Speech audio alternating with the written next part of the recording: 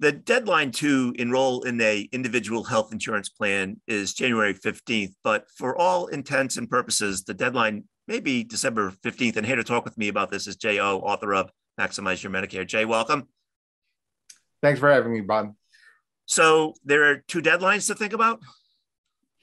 Well, the formal deadline is actually January 15th, which is longer than it has been in the past. It's a full month extension.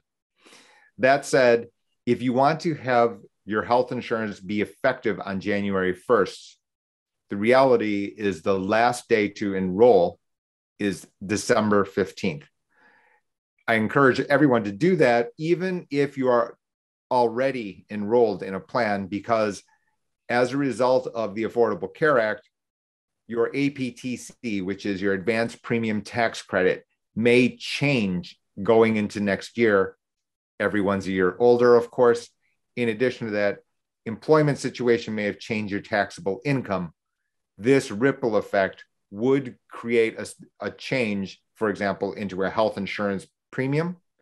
It can also result in the idea that you would want to change plans to find something that is more suited to, to a person's individual needs. Right.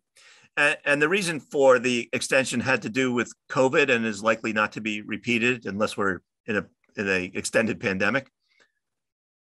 It's a good question, Bob. Um, it's part of the Build Back Better Act to extend the uh, enrollment deadline to January 15th. Whether or not this continues on is yet to be seen, to be candid with you. That said, I would expect it to, to continue, although we've been wrong before when trying to make political predictions. yes, I don't want to be uh, uh, uh, be the one that uh, makes a firm statement about something that could change. Um, right. Anything else that folks need to know about the current enrollment period for individual health insurance that we haven't talked about? It's very important for persons to understand to do this before December 15th for extra reasons.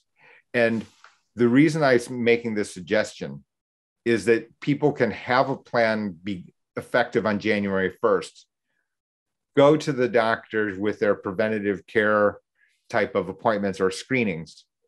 Find out different news whether they whether that be positive or negative. You can still then adjust in january through january 15th if that is required. It's just a way for persons to get better flexibility if they enroll first before december 15th all right Jae, um, as always, want to thank you for sharing your knowledge and wisdom with our readers and viewers. It's greatly appreciated. Thanks for having me, Bob.